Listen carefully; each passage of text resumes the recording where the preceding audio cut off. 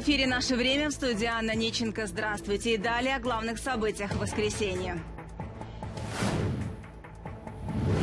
Российская армия ударила по Кривому Рогу. Есть раненые, в том числе сотрудник службы по чрезвычайным ситуациям. Повреждена техника спасателей, гражданские авто и десятки многоэтажных зданий. И тут через несколько, некоторые, несколько минут второй взрыв. Полетели все окна, улетела э, лучше. Выборы президента Молдовы и референдум о вступлении страны в Евросоюз. Цель Кремля – сорвать голосование. Как проходит волеизъявление? Ну, я скажу прямо, чтобы избавиться от этого русского мира. Прямо я вам скажу. Передайте им что это плохо. Я за Европу. В Тбилиси многотысячный марш «Грузия выбирает Евросоюз». Акция приурочена к парламентским выборам, которые должны состояться 26 октября. Фестиваль современного искусства «Гоголь Фест» стартовал в прифронтовом Запорожье. Для безопасности участников мероприятия проходят в подземных укрытиях. Мы хотим, чтобы это место давало нам ощущение процветания и жизни. За эту неделю Россия выпустила по Украине более 20 ракет разных типов, около 800 управляемых авиабомб и более полутысячи ударных дронов. Об этом рассказал президент Украины Владимир Зеленский. Ежедневно Россия наносит удары по нашим городам и общинам. Сознательный террор врага против наших людей. Объединенный для защиты мир способен противостоять этому целенаправленному террору. Украине необходимо больше средств ПВО. Нужна дальнобойность. Я благодарен всем партнерам, которые осознают это и поддерживают нас. Владимир Зеленский, президент Украины, в Телеграм. 17 человек пострадали, в том числе сотрудник службы по чрезвычайным ситуациям. Повреждены техника спасателей, полиции, машина скорой помощи и более двух десятков гражданских автомобилей, а также около 30 многоэтажных зданий. Такие последствия ночной ракетной атаки россиян на Кривой Рог. По городу армия РФ ударила незадолго до полуночи, когда люди уже были дома. Об очередном военном преступлении России в материале Натальи Гусак.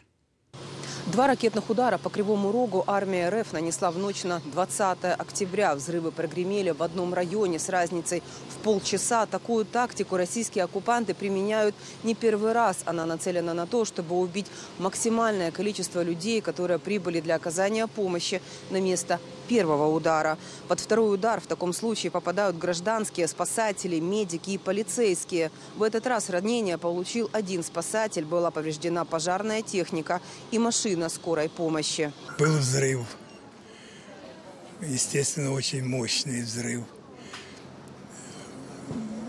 мы как-то так успокоились, вроде нормально, все, ничего не, не, э, не разбило, ничего. И тут через несколько, несколько минут второй взрыв, полетели все окна, улетела э, лучше. Вышел на улицу. Вышел на улицу, увидел, что машину побило. Потом тут приехала полиция, скорая, пожарные. И когда была вторая ракета, спасатель всем в укрытие, в укрытие. Мы спрятались в подъезде. И второй взрыв был. И тогда уже побило и окна в квартире. Спасательная операция на месте ночной атаки длилась три часа. Все это время здесь разбирали завалы в поисках людей, которые могли оказаться под ними. Ранения, травмы получили 17 человек. 8 из них госпитализировали но угрозы их жизни нет, говорят медики. Стан госпитализованных. Состояние госпитализированных разной степени тяжести, от легкой до тяжелой степени, но всем оказывается помощь. Характер ранений – это в основном миновзрывные ранения разных участков тела и, соответственно, разной сложности.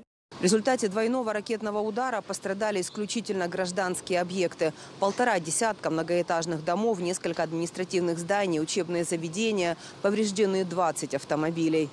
На месте працює вся необхідна на месте работает вся необходимая коммунальная техника. Проводится поквартирный обход для принятия заявления о поврежденном имуществе. Сейчас ситуация контролируемая. Людям оказывается вся необходимая помощь.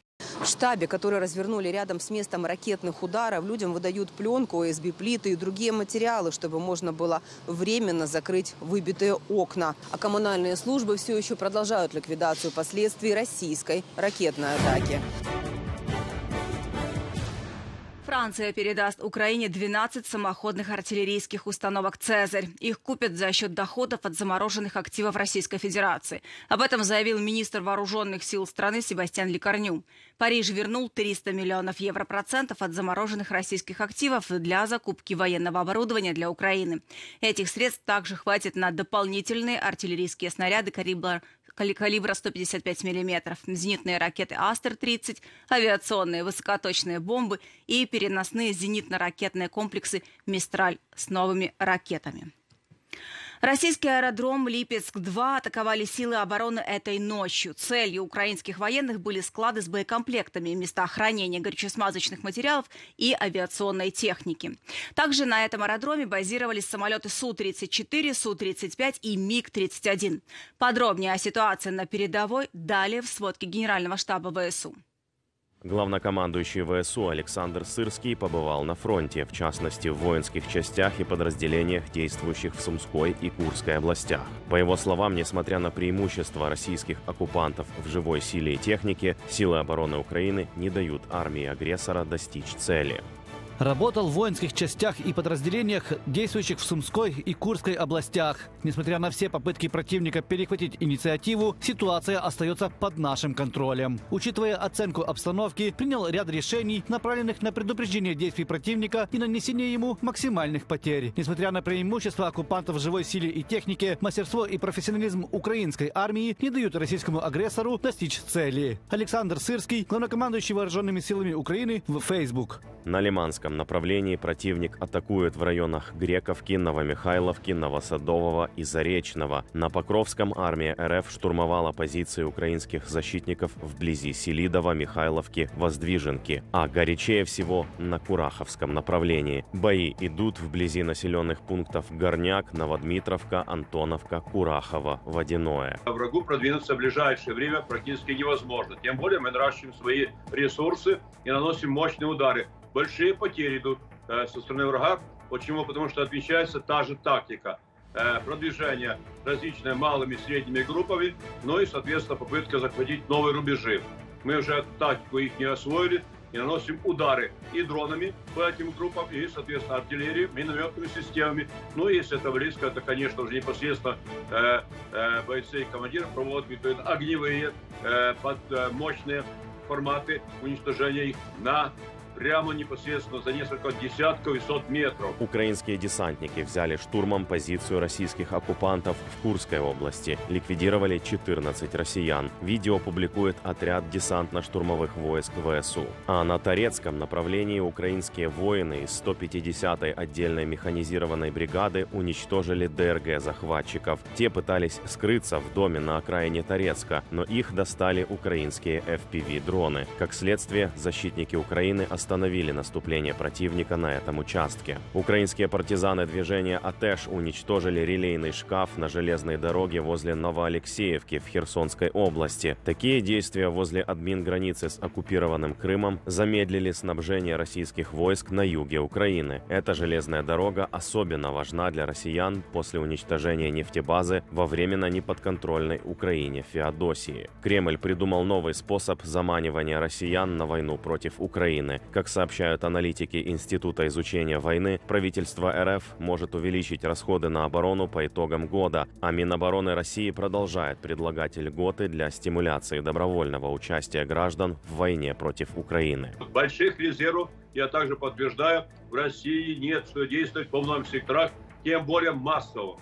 Даже та мобилизация, которая проводится в России по э, повышенным ставкам, которые они выделяют по 10 тысяч долларов одноразовой помощи, там высокие оплаты обещают, ну, фактически не выплачивают в перспективе, но она уже снижает уровень, потому что многие понимают, тем более получают уже конкретные данные, что те люди, которые вышли на фронт, особенно мобилизованные, просто массово гибнут. 1340 российских солдат ликвидировали силы обороны Украины за минувшие сутки. Всего с начала полномасштабного вторжения РФ потери российской армии превысили 678 тысяч. Об этом сообщает Генеральный штаб ВСУ. Также украинские военные уничтожили за сутки 12 российских танков, 39 боевых бронированных машин, 17 артиллерийских артиллерийских систем. Кроме того, силы обороны Украины сбили 57 БПЛА и одну крылатую ракету, а также поразили более 40 единиц автомобильной спецтехники и цистерн с топливом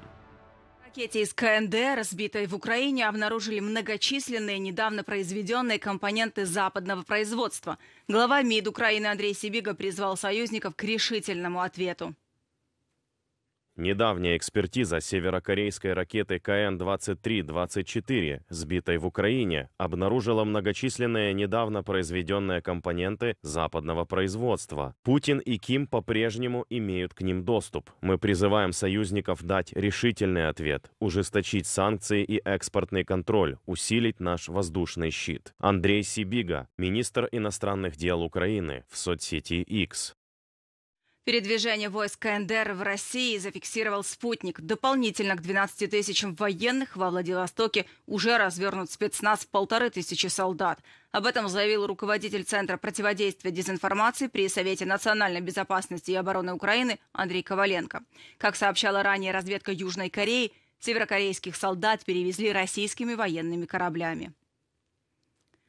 Украинские беспилотники заставили Черноморский флот РФ покинуть временно оккупированный Крым. Об этом заявил российский сенатор Дмитрий Рогозин. Кстати, несколько месяцев назад спикер ВМС Украины Дмитрий Плетенчук сообщил, Россия вывела из оккупированного полуострова все сторожевые корабли своего Черноморского флота. Усиление санкционного давления на Россию – часть плана победы Украины, который на этой неделе представил украинскому парламенту и международным партнерам президент Владимир Зеленский. Ограничения и рекордные бюджетные траты на войну против Украины стали причиной кризисных явлений в российской экономике, говорят аналитики. Тему продолжит Валерия Никипелова. С начала года еда в России подорожала почти на 4,5%. В годовом выражении по состоянию на сентябрь на 9,5%. Ценники обновляются почти каждый месяц. Больше всего выросла цена на молочную продукцию. Цены на сметану за месяц выросли на 4,2%, стерилизованное молоко на 3,6%, пастеризованное на 3,4%. Рост цен на сыры, творог, кисломолочные продукты, сливки и другую продукцию составил от 1,3% до 2,8%. Из молочных продуктов за месяц больше всего подорожало сливочное масло на 5,1%. В целом молочная продукция подорожала с начала года на 7,8%. Из публикации агентства «Интерфакс» со ссылкой на данные Росстата. Это официальные данные. В реальности все еще серьезнее, говорят эксперты. Из-за роста цен на сливочное масло с начала года оно подорожало почти на 18%. Правительству предлагают вернуться к советской практике государственного регулирования цен. В последний раз об этом говорили в 2023 когда куриные яйца выросли в цене в половину. Прошу рассмотреть возможность установления предельно допустимой розничной стоимости сливочного масла. С соответствующими просьбами в мой адрес обращались граждане, которые отмечали ускорившийся рост цен на этот продукт. Из публикации издания The Moscow Times со ссылкой на обращение вице-спикера Нижней палаты Госдумы РФ к главе Минэкономразвития России. Острее всех повышение цен ощущают уязвимые категории населения Федерации. Согласно официальной статистике, число бедных в России якобы снижается из года в год и находится на историческом минимуме. Границу бедности российское правительство установило на отметке 15 354 рубля в месяц. Но планка условного минимального дохода, которую российские власти применяют для оценки уровня бедности, критически оторвана от реальности. Настоящая черта должна быть установлена на уровне втрое выше. 43 тысячи рублей в месяц показал опрос холдинга «Superjob». В России э, с началом войны началось расслоение, которое ускоряется. Те, кто участвует в войне, и, э, или обслуживает войну, я имею в виду производство оружия, обмундирование, выполнение военных заказов, э, они э, по определению такого правительственного э, центра аналитического одного из, а, стали новым средним классом. Да? То есть их доходы выросли и продолжают расти. Все остальные люди платят инфляционный налог. Да? Покупательная способность рубля за последние там, два с половиной года резко упала. Такой дисбаланс, когда военно-промышленный комплекс – это единственный растущий сектор российской экономики, приводит к увеличению темпов инфляции, создает эффект перегретой экономики. Чтобы держать инфляцию под контролем, Центробанк России только в 2024 году повышал процентную ставку дважды. В июле с 16 до 18%, в сентябре до 19%. Уровень инфляции в стране в настоящее время составляет 9,1%. Но в реальности рубль обесценился гораздо больше, уверены экономисты. Одним из показателей скрытой инфляции сегодня является то, что Российский Центральный банк поддерживает процентную ставку на уровне 19%, утверждая, что годовая инфляция составляет всего 9,1%. Таким цифрам никто не должен верить. Скорее всего, власти перепаковывают инфляцию в реальный рост. Андерс Ослунд, экономист, в статье для Project Syndicate. Государственное финансирование социальных программ здравоохранения медицины в России остается на прежнем уровне, а военные расходы Кремль рекордно повышает. Суммарно в 2025 году траты на так называемую оборону составят более 40% российского бюджета. Руководитель Главного управления разведки Минобороны Украины Кирилл Буданов заявил, что с лета 2025-го серьезные экономические проблемы заставят Москву задуматься о прекращении войны против против Украины. Ведь способность российской экономики поддерживать масштабную военную агрессию, к тому же в условиях санкций, имеет свои пределы. И президент Украины призвал партнеров противодействовать поставкам оружия из Северной Кореи в Россию. В своем обращении к народу Владимир Зеленский подчеркнул, что союз Москвы и Пхеньяна – это новая угроза.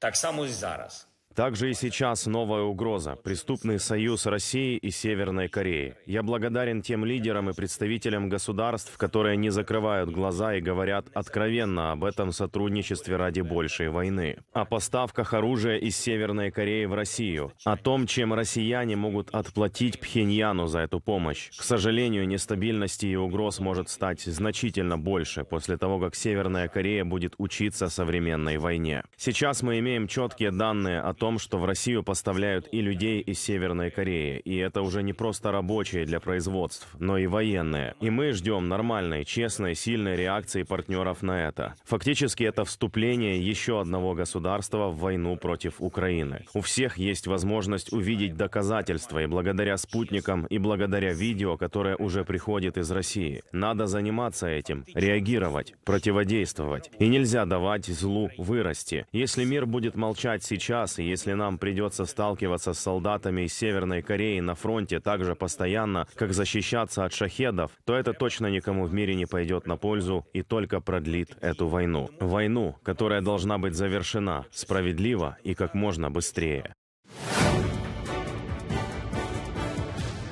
Молдове уже закрылись избирательные участки. Напомню, граждане страны выбирали следующего президента Молдовы и голосовали на референдуме о вступлении в Евросоюз.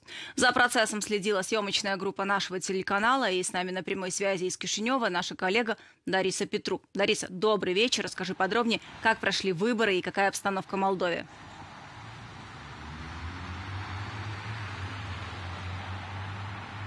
Да, Анна, добрый вечер. Действительно, вот 15 минут назад закрылись избирательные участки здесь, в Молдове. Напомню, что по стране их было 1957 и за границей еще 234. По состоянию на сейчас явка избирателей 51,5%. Ну, казалось бы, это небольшая явка, но, как объяснили нам эксперты, это средний показатель на выборах в Молдове. Э, при этом, по данным Центральной избирательной комиссии Молдовы, наиболее активными Ими были такие возрастные группы от 36 до 45 лет и от 56 до 65 лет. Примерно по 20% на каждую группу э, приходилось от общего количества избирателей. Наша съемочная группа побывала на нескольких избирательных участках здесь, в Кишиневе, в столице Молдовы. Э, мы опросили избирателей, спросили у них, что мотивировало их сегодня прийти на участки, проголосовать на выборах президента, проголосовать на референдум референдуме о вступлении страны в Евросоюз. Давайте послушаем прямую речь. Мы должны поддержать европейский путь нашей страны. Это важно для всех граждан Молдовы. Проголосовать и показать их политический выбор. потому что наше общество немного разделено в этом плане. Лично я поклонник проевропейского пути. Ну, я скажу прямо, чтобы избавиться от этого русского мира. Прямо я вам скажу. Передайте на весь Киев, что это плохо. Я за Европу, я за все. Мы за наше будущее голосуем, за будущее наших детей, за мира, за стабильность или как еще, и за будущее наших правнуков, чтобы было, было, было мира на земле и счастья, радости.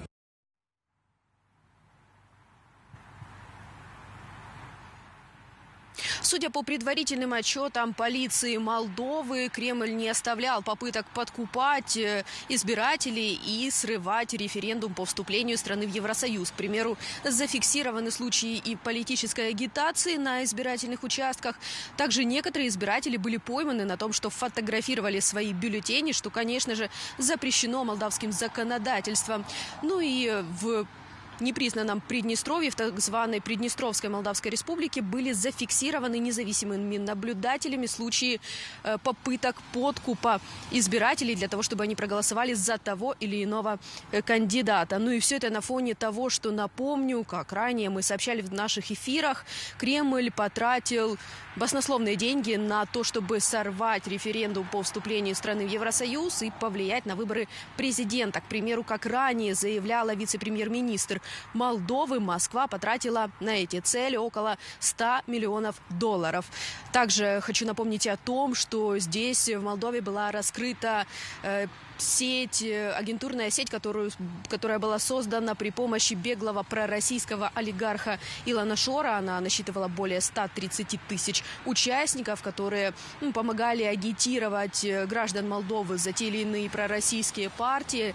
Э, и голоса скупались Оплата производилась э, при помощи банковских карт одного из российских банков. Что примечательно, эти деньги нельзя было снять здесь, э, в Молдове. Э, за ними нужно было ехать в непризнанное Приднестровье. Ну и поможет ли Кремлю этот масштабный подкуп, эти грандиозные траты на выборы здесь, в Молдове? Конечно, мы узнаем с вами уже по результатам подсчетов голосов. Ну а мнение эксперта на этот счет давайте послушаем мы э, пере, переоцениваем, с моей точки зрения, всегда какие-то, не знаю, там, интеллектуальные, наверное, способности кремлевских технологов.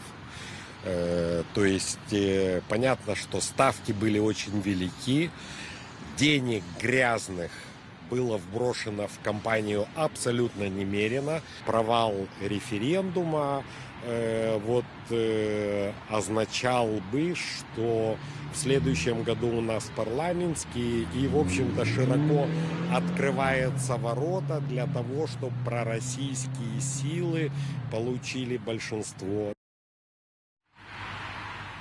Ну и напомню о том, что ранее молдавские правоохранители заявляли о том, что Москва вывозила из Молдовы граждан страны, несколько сотен граждан для обучения э, провокациям на улицах во время митингов.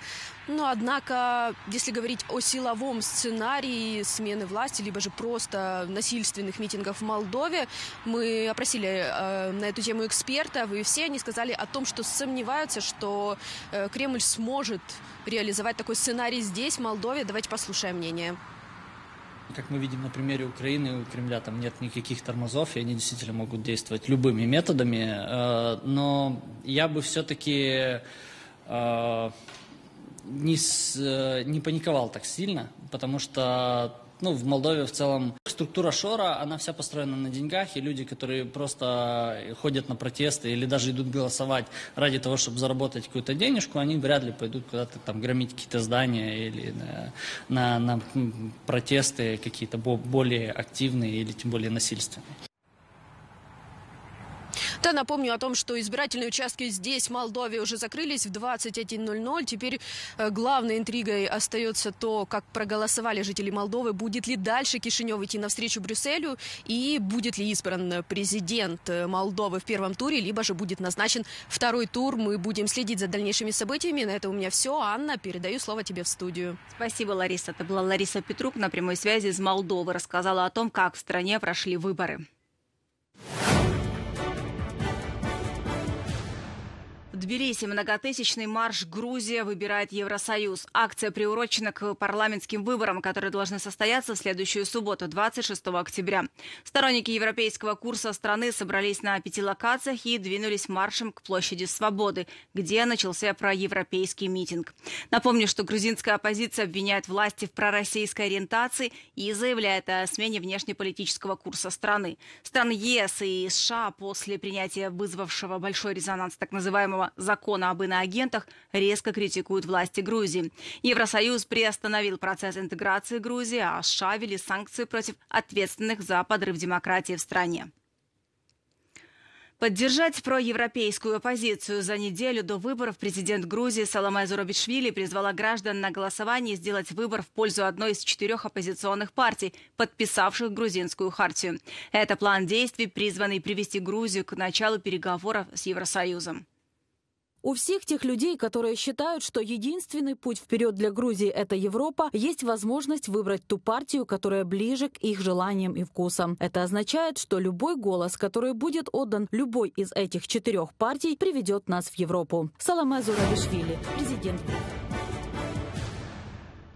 прифронтовом Запорожье стартовал фестиваль современного искусства «Гоголь-фест». Для безопасности участников мероприятия проходят в подземных укрытиях.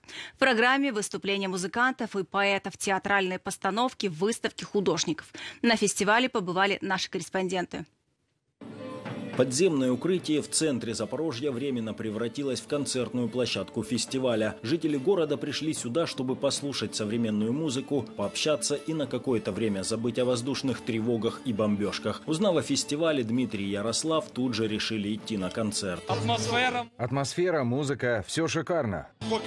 Пока только концерт, но, возможно, программу еще посмотрим и пойдем на какие-нибудь другие мероприятия. В другом убежище театральное представление «Город Марии» рассказывающее о первых неделях окружения и оккупации Мариуполя российскими войсками. В его основе реальные события и люди, сестры Анна и Анастасия Гречкины, которым удалось спастись из оккупированного россиянами города.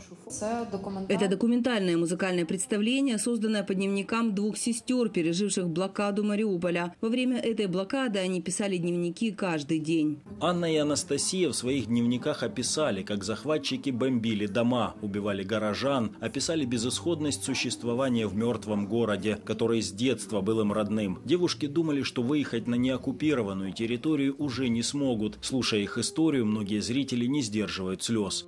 Владелица машины увидела сцену прощания. Она еще сильнее подвинула свою семью для того, чтобы эта героиня все же поместилась. И у меня в этот момент просто слезы потекли. Я не знаю, как можно более убедительно сказать обо всем этом, чем это сделал спектакль «Город Марии». Идея провести Гогольфест в Запорожье родилась у организаторов до полномасштабного российского вторжения. Тогда не могли предположить, что культурные мероприятия будут проходить в подземных убежищах. В нынешних реалиях укрытия обеспечивают физическую безопасность, а искусство создает ощущение внутреннего спокойствия, уверены участники фестиваля. Мне кажется, пусть лучше это происходит так. Для того, кому все это нужно, место есть. То есть культура существует, она сейчас в таком формате, но это лучше, если бы ее совсем не было. Из этого города, Запорожья, мы закончили наше планирование деятельности в 2022 году. В феврале мы были здесь и планировали проводить фестиваль летом 2022. Поэтому сейчас это определенное символическое возвращение с точки, где мы остановились к возобновлению нашей деятельности. Единственное мероприятие Google Феста, состоявшееся вне укрытия – открытие мемориальной инсталляции «Дерево памяти». Она посвящена погибшим украинским воинам. Это должно быть не место грусти или тревоги. Это должно дать ощущение жизни, утверждает автор, бывший театральный режиссер, а ныне украинский защитник Дмитрий Костюминский. Мы хотим, чтобы это место давало нам ощущение процветания и жизни, чтобы этот будущий парк был для всех, чтобы здесь встречаться, проводить время и вспоминать наши наших военнослужащих, отдавших свою жизнь. Гоголь-фест продлится все выходные. Средства от продажи билетов организаторы направят для помощи защитникам, которые воюют на запорожском направлении. Подписывайтесь на наш канал Freedom, там важные и актуальные интервью, а также интересные программы, рубрики и материалы наших корреспондентов. Ну а в этом выпуске мы ставим точку. Эфир Freedom продолжит Валерий Клименко. До встречи в эфире.